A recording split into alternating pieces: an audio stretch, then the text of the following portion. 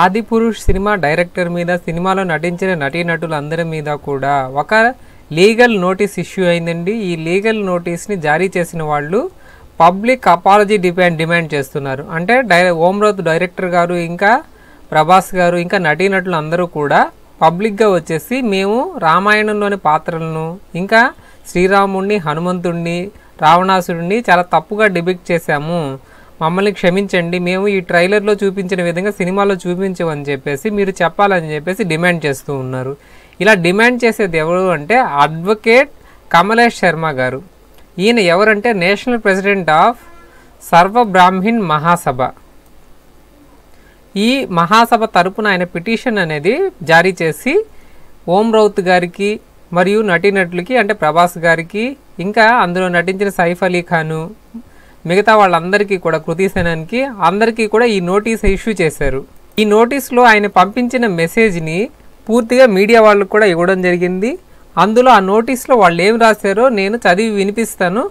Already ఈ విషయాలు మనం ఇంతకుముందు ఈ ట్రైలర్కి సంబంధించిన రివ్యూలో చర్చించాం కూడా. ఈ సినిమాలో హిందూ దేవుళ్ళు మరియు దేవతల్ని తప్పుగా చి చిత్రీకరిస్తున్నారు. ఇందులో హిందూ దేవుళ్ళు మరియు దేవతలు చాలా చాలా వక్రీకృత రూపంలో చూపించబడ్డారు.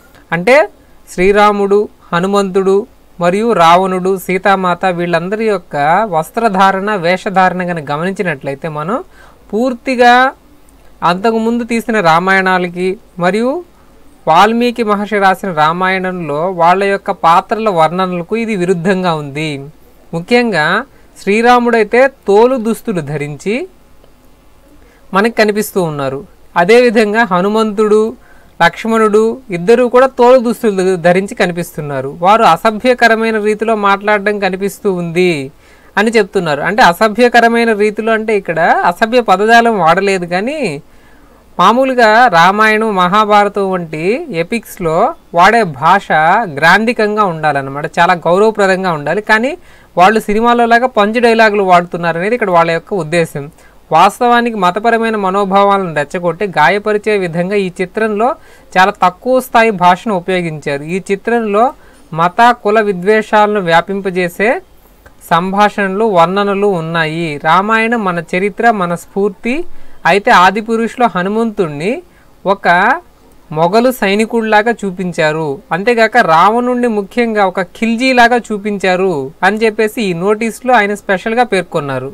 అంతేకాకుండా ఈ నోటీస్కి మీరు కనుక రిప్లై ఇచ్చి ఎయిదర్ క్షమాపణ చెప్పడమో లేదంటే మేము ఇందులో కరెక్ట్గానే తీసాము ఇందులో తప్పు లేదని నిరూపించుకోవడము ఈ రెండింటిలో ఏదో ఒకటి చేయాలి. చేయకపోతే తర్వాత మేము చాలా బలమైన స్ట్రాంగ్ లీగల్ యాక్షన్ తీసుకుంటామని చెప్పేసి వాళ్ళు మంచి ఘాటైన వార్నింగ్ కూడా ఇవ్వడం జరిగింది. హిందువులు అనే వాళ్ళు ఇంతకుముందులాగా కాదు వాళ్ళు చాలా చాలా చైతన్యవంతంగా ఉన్నారు. తమ దేవుళ్ళకు తమ యొక్క పురాణాలకు ఇంకా ఇతిహాసాలకు ఏమైనా చిన్న వక్రీకరణ జరిగినా అంతకుముందులాగా నోరు వెళ్ళబెట్టి చూస్తూ ఊరుకునేలాగా లేరు. హిందువులు చైతన్యవంతంగా ఉన్నారు కాబట్టి ఈ ట్రైలర్లో శ్రీరాముడిని మరియు హనుమంతుడిని కాస్త ఆ పాత్రలను వక్రీకరించి చూపించారు కాబట్టి వాళ్ళు వెంటనే స్పందించి ఇలా లీగల్గా నోటీస్ సర్వ్ చేశారు.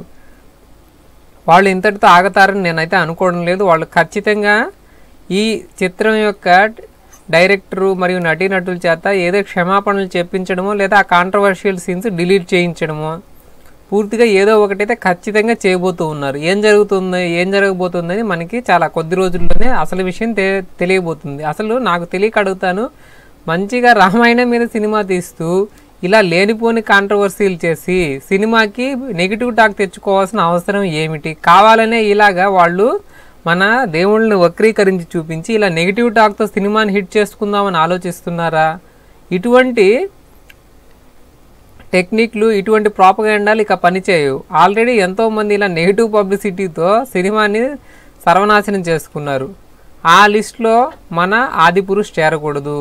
ఇంకొక చిన్న విషయం అసలు ఆదిపురుష్ పేరు ఏమిటి? రామాయణానికి రామాయణం అని పేరు పెట్టొచ్చుగా? లేదంటే ఆది కావ్యం అని ఇంకొక పేరు ఉంది ఆ పేరును వాడచ్చు. లేదంటే వీళ్ళు ముఖ్యంగా తీస్తున్నది యాక్షన్ సీన్స్ యుద్ధకాండలోవి.